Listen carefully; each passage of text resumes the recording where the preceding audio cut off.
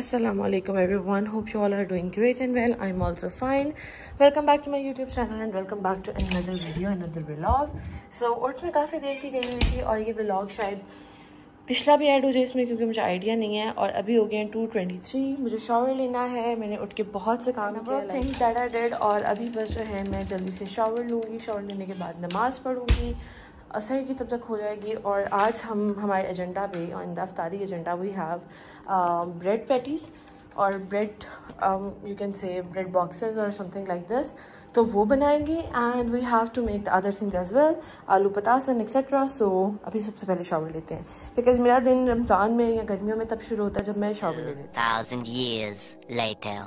Okay so नमाज़ पढ़ ली है, मैंने अभी हमने जाना है बाहर तो मैं अपना मेकअप करने लगी not makeup perfectly but just a foundation साथ बीबी क्रीम और इसके ऊपर सेटिंग पाउडर थोड़ा सा ब्लश और हल्की सी लिपस्टिक मतलब मैं मस्कारा भी नहीं लगाऊँगी बिकॉज़ ये वीगन मस्कारा है एंड आई डोंट नो मुझे नहीं लगता कि I should have to use it तो ये भी मैं यूज़ नहीं कर रही, मैं वो यूज़ कर रही हूँ जो पाकिस्तानी प्रोडक्ट्स हैं।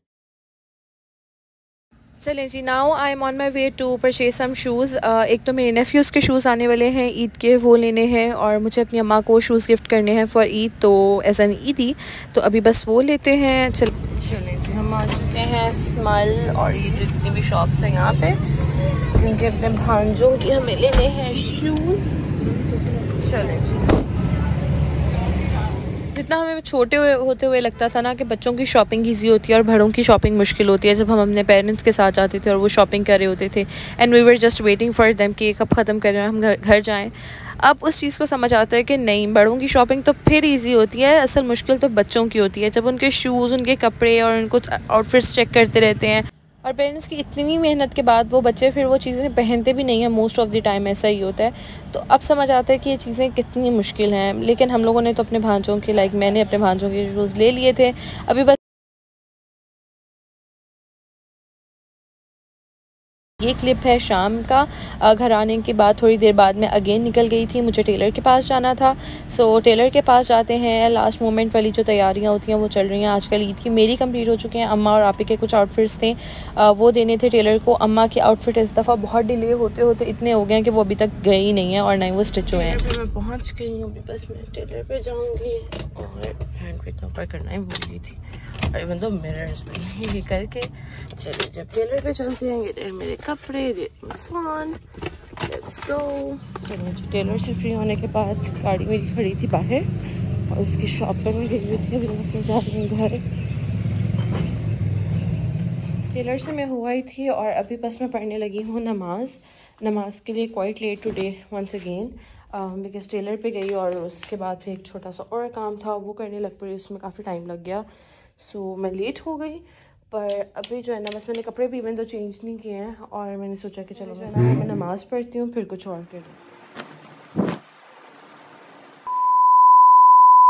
आज इफ्तारी के मेन्यू में है ब्रेड रोल्स और साथ में आलू पतासा और पता नहीं कौन सा सालन आई डोंट नो और फ्रूट चाट सो अभी मैं आलू पतासा की तैयारी स्टार्ट कर लगी हूँ पोटेटोज़ मैंने अपने पील आउट कर लिए हैं पील ऑफ़ कर लिए हैं। अब बस मुझे जो है इनको कट करना है और मैं ब्रेड का वेट कर रही हूँ और अपनी कैप्सिकम का वेट कर रही हूँ। और साथ में मेरे पास यहाँ पे हैं स्वीट कॉर्न जिनकी मुझे कोई समझ नहीं आ रही क्योंकि ये टिन वाले थे। This was the tin Italia का। और मुझे समझ नहीं आ रही कि ठीक है कि नहीं है। मुझे नहीं लगता कि ठीक है। So I am not gonna use them probably but I am not sure कि मैंने इस्तेमाल करती हूँ कि नहीं करती बिकॉज़ ये जो टिन बैग है, ये बिल्कुल ठीक था और इसकी एक्सपायरी ट्वेंटी सिक्स तक थी। पर मुझे नहीं लग रहा कि जो ये जो मुझे प्रोडक्ट मिला है ना, इसके अंदर से ये ठीक है। सो लेट्स सी कि मैं यूज़ करती हूँ पर I was not a YouTuber तो मैं लोगों के ये टाइम लैब्स और इस तरह की जो स्पीड वीडियोस होती हैं, वो देखते कि इतना खुश हुआ करती थी। और अभी भी देखती हूँ, मुझे बहुत मज़ा आता है। Can watch them for hours मुझे बहुत अच्छी लगती हैं। और अब जब मैं ख़ुद बनाती हूँ तो मुझे एहसास होता है कि ये कितना मुश्किल काम होता है, जिसको हम जिस सेकेंड्स में देखते हैं हम सोचते हैं कि वाह इसने तो ये सब कुछ कर लिया और ये कितना ईजी था।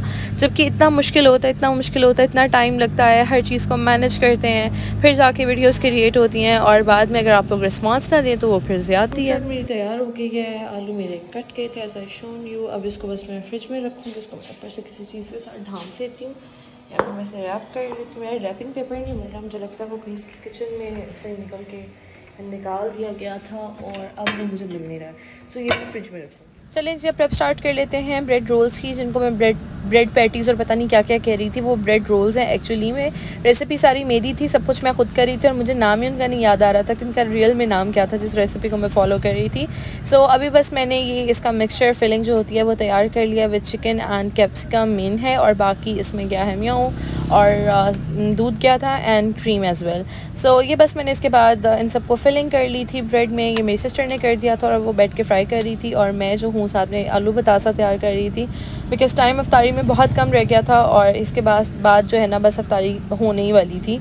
जिस तरह ये वीडियो ख़त्म होने वाली है, वैसे अफ्तारी भी जो है ना, बस होने अफ्तारी वगैरह करने के बाद मैंने और कुछ भी खास रिकॉर्ड नहीं किया बिकॉज़ सर में दर्द स्टार्ट हो जाता है अफ्तारी के बाद और मोस्टली कुछ भी रिकॉर्ड होता ही नहीं है। So that's a wrap from the video I hope you guys like this video बहुत छोटी सी वीडियो थी, लेकिन बहुत मज़े की थी मेरे लिहाज से। अब मुझे रिस्पॉन्स से पता चलेगा कि आप लोगों को कैसी लगी है and will catch you guys in another one till then अल्लाह हाफिज़। और मेरा आज का जो व्लॉग है ना, वो नमाज़ पर एंड हो रहा है। अलहमदिल्ला मुझे बड़ा अच्छा लग रहा है। Will catch you in another one bye